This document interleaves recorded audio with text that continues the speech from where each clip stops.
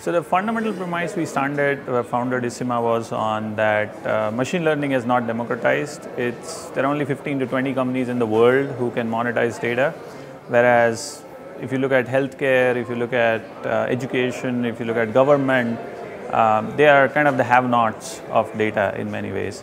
And our view was that it's whether it's my doctor in Stanford or the kid where the school where my kid goes to, they should all be benefiting from machine learning and AI. And that's essentially the core foundation of Isima.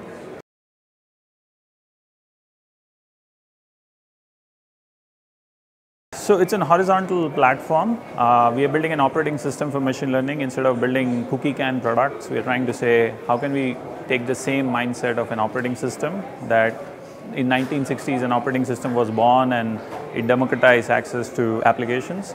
That's what we want to do. We are building an operating system for machine learning so that machine learning can go live in weeks as opposed to months and years and quarters.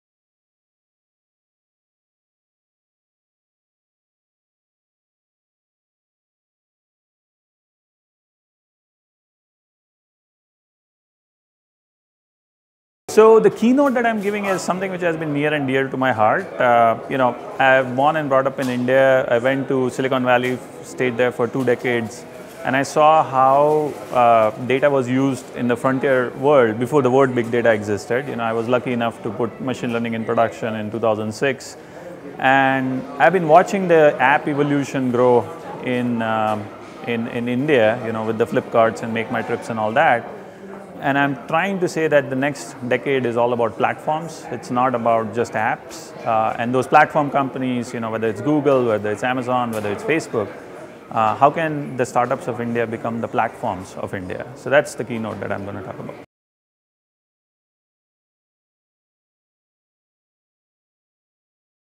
Actually, that's a very brilliant question. We so I'm going to talk tomorrow about the specifics of how that will happen. We believe that we will be the engine for these startups to become the platforms of India. And instead of building shrink wrap products and you know going through all these artificial metrics about um, you know conversion rates and growth metrics and all that, that has been useful for the last decade. Uh, the next decade lies in building a common data platform across everybody. And how can a junior engineer with two years of experience put machine learning in production without lots of math? Because like it or not, there are only 10 companies in the world who have armies uh, of people and the rest of us don't. So for them, we are building a product for those folks.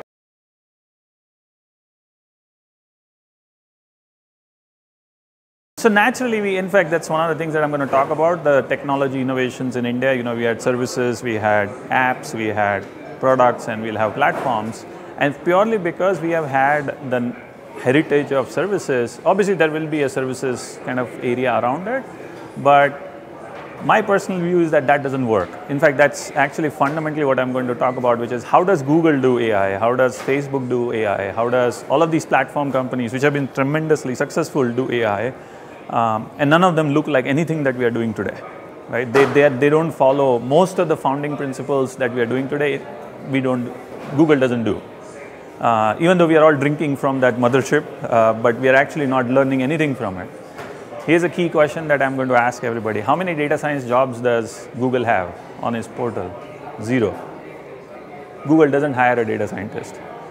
That's the simple reality today, but we keep on talking about data science right? So you really need to rethink how uh, that thing is done. And few, obviously, there will be a lot of snake oil sellers that will grow up in the AI world. In fact, at least in Silicon Valley, they're calling it the midlife crisis of AI, ML, big data, whatever. Um, but it's very important that platform companies don't fall prey to that mindset and actually start building things. That's one of the main things, which is you don't outsource things, you actually start building. But you have to be careful about what you build. You can't build everything. So that's what we are trying to build, which is we give you the operating system, you build the brain on top of it.